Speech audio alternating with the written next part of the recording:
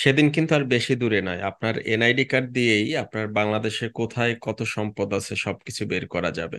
কাজে উল্টোপাল্টা কাজ না করে সঠিক ট্যাক্স প্ল্যানিং করুন। ভ্যাটকনস বিডি আপনার ট্যাক্স কমানোর জন্য আয়কর আইন অনুযায়ী নির্দিষ্ট কিছু বিনিয়োগ বা দানের খাত রয়েছে যেগুলোতে বিনিয়োগ করে আপনি সর্বোচ্চ পরিমাণ কর রেয়াত পেতে পারেন। জনপ্রিয় কিছু বিনিয়োগের খাতের মধ্যে জীবন বীমার প্রিমিয়াম, প্রভিডেন্ট ফান্ড বা স্বীকৃত ভবিষ্যৎ তহবিলের নিয়োগকর্তা ও কর্মকর্তার চাঁদা, ষাট হাজার টাকা পর্যন্ত ডিপিএস, সঞ্চয়পত্র ক্রয়, লিস্টেড কোম্পানির শেয়ার, স্টক, মিউচুয়াল ফান্ড বা ডিভেঞ্চার সহ সরকার অনুমোদিত ট্রেজারি বন্ডে বিনিয়োগ।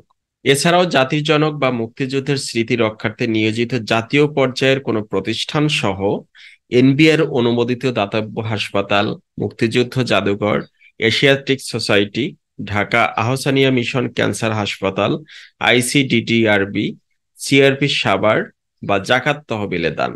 এখন কীভাবে কতদিনের মধ্যে সর্বোচ্চ কি পরিমাণ বিনিয়োগ করে আপনি কত টাকা পর্যন্ত কর রেয়াত পেতে পারেন?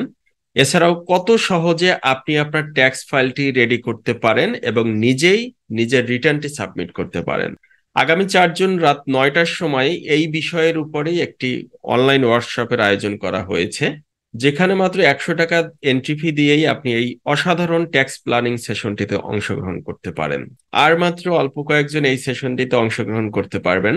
কাজেই ডিসক্রিপশনে দেয়া লিংক অথবা অ্যাপ্লাই নাও বাটনে ক্লিক করে এখনই আপনার সিটটি কনফার্ম করে ফেলুন। ধন্যবাদ, আসসালামু আলাইকুম।